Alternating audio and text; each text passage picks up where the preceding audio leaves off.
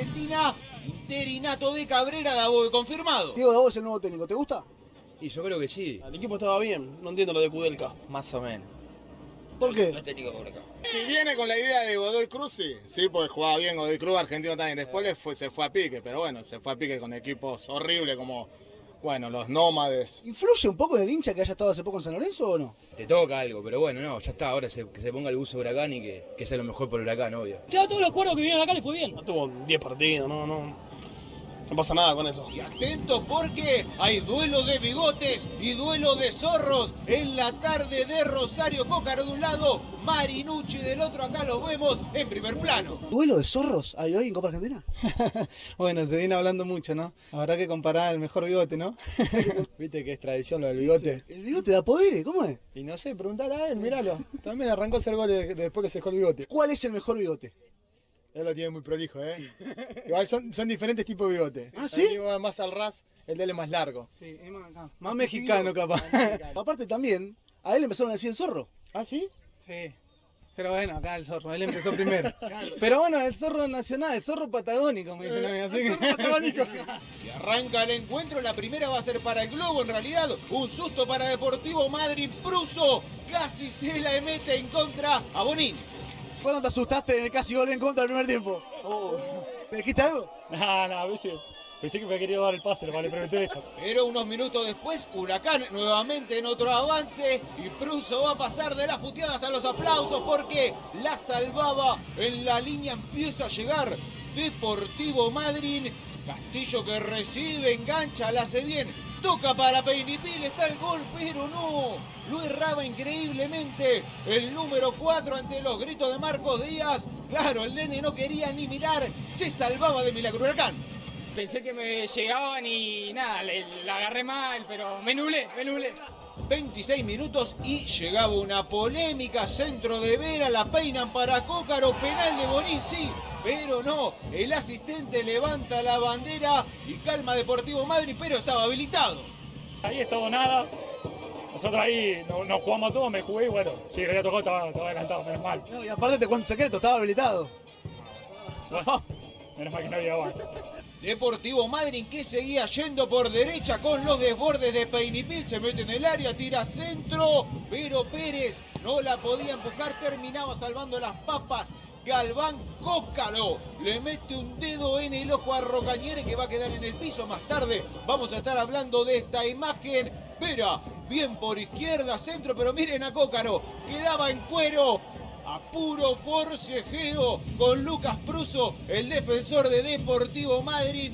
Baliño no lo advertía y se volvía a salvar el equipo de Pancaldo. En un momento lo dejaste en corpiño a Cócaro, ¿puede ser? No, no, yo no pude. ¿Le sacaste la remera? ¿Cómo puede ser? Dame, ahora ya está. No, me estaba agarrando, yo lo agarré, bueno. En el complemento afuera Rocañere que aparecía con un parche del ojo. Una que choqué con, con Cócaro, me parece, me había metido el dedo en el ojo y como que la pupila no tenía, no tenía reacción, no se me movía el ojo. En el complemento una muy clarita para Deportivo Madrid Recalde. La abre para Castillo, tiene el primero, pero remataba alto. Y observen a Pancaldo. Por abajo era, tiene la costumbre de rematar alto, decía el DT.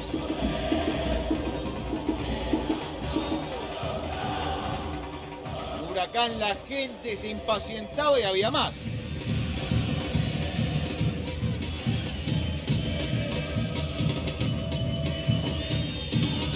Calentaba el clima en la cancha de Newell's. Torán solo miraba desde afuera. Flojo segundo tiempo de Huracán. Observen, si no, ese centro de Quiles y estas caras de los hinchas del globo final. Y había penales en el coloso La Arenga de Cabrera. No escuchen a los de afuera, les decía el entrenador del Globo y un arco muy particular para Deportivo Madrid. En esta misma cancha, en ese mismo arco, Le dije a los chicos acá, una de las peores tristezas que sufrimos en el fútbol, hoy tiene que ser una de las mayores alegrías. Arranca pateando Huracán, Cristaldo cruzado abajo, gol, lo grita de cara a la gente y va uno de los zorros, Marinucci. Esa caminata, y sabe que, que Marco Díaz es un gran eh, atajador de penales y eso, es la caminata ahí. Igual, ¿Qué, ¿Qué se te pasa por la cabeza? ¿Elegiste? ¿Cambiaste? de todo, de todo. Lo quería mirar, pero dije, yo muero cruzado, siempre va ahí. Y va a ir cruzado, pero con suspenso porque casi se lo saca. Marcos Díaz se lamentaba el arquero de Huracán. Galván cruzado y gol del Globo. Llegaba el turno de Emiliano López que la cruzaba bien en el banco de madre. Mientras tanto, Puchito de por medio se sufría. Matías Acevedo para Huracán y tremenda tapada de Bonín que se hacía gigante y le sacaba el penal. Así lo festejaban los jugadores de Madrid. ¿Tenías el machete? Teníamos ahí el profesor Martín. El Ale Martín había preparado ahí, nos había pasado un video donde podían patear y la verdad que, que acertó al 100. Ahora es el turno de Mancilla, fuerte al medio, larga carrera, corta carrera para Gese, pero la coloca muy bien. Recalde ponía nuevamente en ventaja a Madrid. Alto, remate, Cócaro, obligado a convertir, patea y nuevamente Bonín se queda con la pelota para desatar la locura de los jugadores de Deportivo Madrid que daba el batacazo y vencía el globo en los penales. La gente de Huracán se iba muy enojada, que se vayan todos, momento complicado. Nunca lo subestimamos, la verdad que intentamos ganar en el partido, después en los penales ya, ya es suerte y bueno, no, no pudimos sacar esa ventaja. Del otro lado, la locura de todo el pueblo de Deportivo Madryn, algunos incluso llorando en la tribuna, nuevo batacazo en la Copa Argentina. ¿Y el duelo de zorro? Y lo gané yo, ¿viste? Lo gané. Bueno, bueno, a veces pasa, vos remate y lo fui a saludar. A veces toca meter, a veces toca errar. La mía fue, encima pateamos medio parecido. El verdadero zorro. El zorro ganó el duelo, papá. Ahora que ganaste el duelo de zorro, tenés que hacer la Z vos. ¿Te animás con el festejo? Ahí está. De esta gente que hizo 1500 kilómetros para venir, día semanal, todo, bueno, muy especial para, para mi familia que está siempre, mi mujer con mis hijos en, en Madrid, seguramente emocionado como estoy yo. ¿Qué se le dice al héroe de la noche?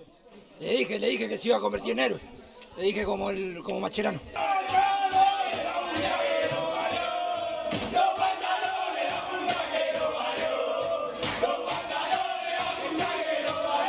¿Qué es la del pantalón? Contame esa la del pantalón. Y, y porque nos dio la remera, ahora queremos a ver si nos largan los pantalones. Por videollamada estamos pidiendo al presidente y al vicepresidente que nos den los pantalones, todo, ya digamos la remera. Ahora queremos el pantalón.